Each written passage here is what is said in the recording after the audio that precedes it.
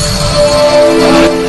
May salabton ang kapitan sang tugboat nga nagkapan sa Iloilo River sa Muelle Luna City proper. Inangin kompirma ni Ensign Eljan Ga, ang Deputy Commander, kag taghambal sang Philippine Coast Guard o kon PCG Iloilo Station sa interview sang K5 News FM Iloilo. Suno kay Ga matapos ang ginpatgan nga investigasyon na hibaluan nga wala mahigot sang maayos ang kapitan ng tugboat, rason nga ining nagtakilid, ginsulod sang tubig tubtob nga ining nagkapan. Dugang pa sa natungdan ang investigasyon nga ginhimo sang PCG ang ipasaka o kun i-forward sa legal department sang ahensya agud nga mahibaluan ang mangin liabilidad sang kapitan kag sang International Builders Corporation o kun IBC nga among tag-iya sang sakayan. So ang Sang sakay. based na mo investigation ma'am no, ah, ang kapitan si ni ma'am ah, nalipatan niya nga i-secure or ihalugan ang ah, lubid nga nagaangot sa tagboat kaga dira sa sa may ah,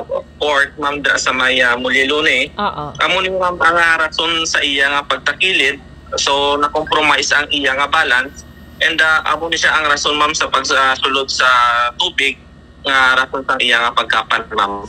Ini si ka K5 Alex Escalante para sa kampiyon nga balita, serbisyo publiko kag kalingawan sa Iloilo. K5 News FM. This news is brought to you by Do you feel tired all the time? Do you have frequent infections? Do you have always cold? It's a sign of low immune system. Boost your immune system with Clinica D3 Bio. Antibacterial, natural antioxidant, immune system booster. Clinica D3 Bio has vitamin D3, lauric acid, and monolurine to fight against all viruses. Try Clinica Vitamin D3 with Coccus nocifera.